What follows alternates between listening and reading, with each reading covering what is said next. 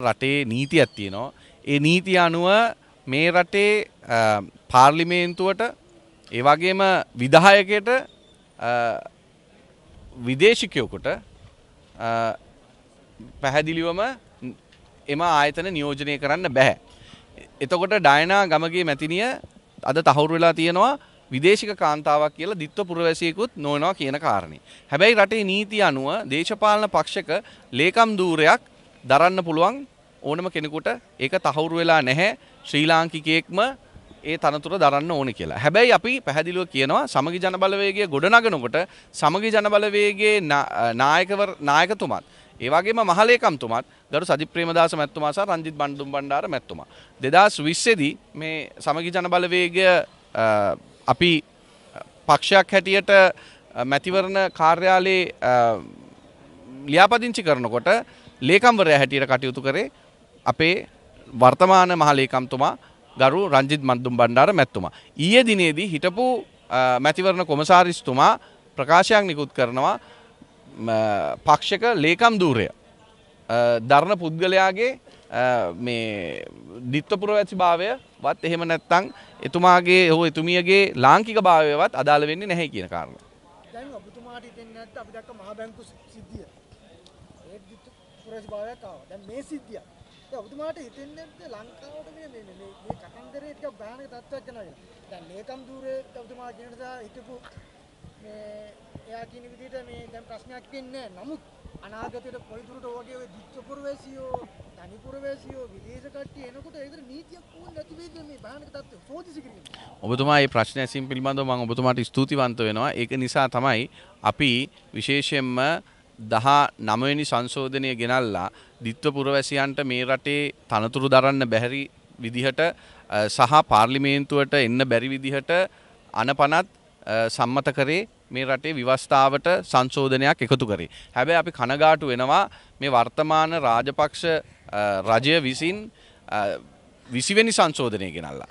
නැවත වතාවක් බැසිල් රාජපක්ෂ විදේශිකයට දිත්ව පුරවැසියට සංචාරකයට පාර්ලිමේන්තු එන්න පුළුවන් පරිසරය නිර්මාණය කරා. හැබැයි දැන් 21වෙනි සංශෝධනය එක වෙනස් වෙලා තියෙනවා. ඒ පිළිබඳව අපි සතුටු වෙනවා. එතකොට දැන් මොකද්ද ඔබතුමාලා දැන් ඉදිරි අනාගතයේ දැන් ජනාධිපතිවරණය මොකක්ද ගන්න? අපි පැහැදිලිවම අපේ පක්ෂ ප්‍රවර්ධන වැඩ කටයුතු ක්‍රියාත්මක කරමින් යනවා. ඒ වගේම පවත්වන්නට නියමිත ජනාධිපතිවරණයේ ජයග්‍රහණය කිරීම සඳහා ගරු සජිත් ප්‍රේමදාස මැතිතුමා ප්‍රමුඛ කොටගත් සමගි ජන සන්ධානය ඉතාම ශක්තිමත්ව ගම් මට්ටමේ බිම් මට්ටමේ අපි අපේ පක්ෂ ප්‍රතිසංවිධාන කටයුතු ක්‍රියාත්මක කරමින් යනවා.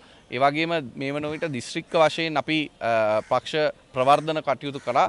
ගිය සතියන්තේ අපි මොන්රාගල දිස්ත්‍රික්කයේ ප්‍රවර්ධන කටයුතු කරා. ඊට කලින් අපි ගම්පහ දිස්ත්‍රික්කයත් මාතර දිස්ත්‍රික්කයත් ක්‍රියාත්මක කරා. ඉතාමත් සාර්ථක මැදිනියක් පවත්වන්න පුළුවන්කම ලැබුණා. අද වෙන විට මේ රටේ ප්‍රධානම දේශපාලනයේ බලය ලබා ගැනීමට හැකියාව තියෙන එකම පක්ෂය බවට සමගි ජන බලවේගය අද පත් වෙලා තිබෙනවා. අභියෝගේ අපි හිතන්නේ අපිට අභියෝගයක් තියෙනවා කියලා.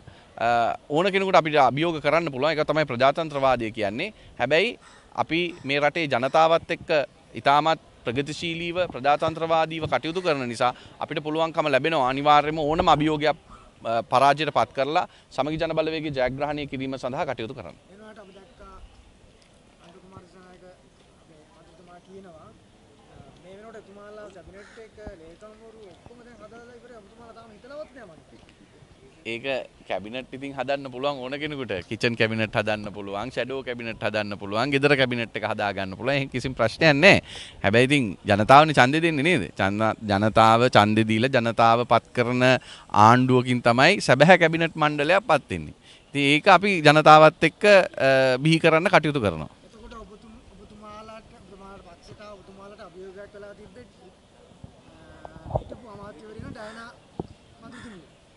අපි හිතන්නේ එහෙම කිසිම අභියෝගයක් වෙලා තිබුණේ නැහැ එතුමිය.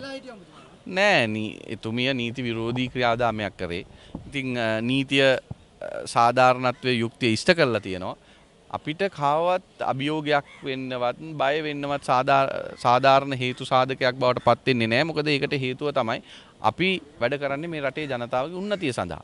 උන්නතිය සඳහා වැඩ කරන සර්ව සාධාරණ පක්ෂයක් හැටියට අපිට කාවත් අභියෝගයක් බවට පත් වෙන්නෙත් නැහැ. කවුරුත් කෙරෙහි අපිට බයක් ඇති වෙන්න අවශ්‍යතාවයකුත් නැහැ. ප්‍රශ්නේ කාන්තාවක් වෙනුවට ඇයි මුදු බ්‍රහ්මණ නෑ, අපි නෑ අපි කාන්තාවන්ට මුල් තැන දෙන පක්ෂයක් අපි තමයි ඩයිනා ගමගේ මන්ත්‍රීතුමියත් කාන්තාවක් හැටියට අ, ඒ අවස්ථාව දුන්නේ එතුමියට මන්ත්‍රී දූරය ලබා දෙන්න.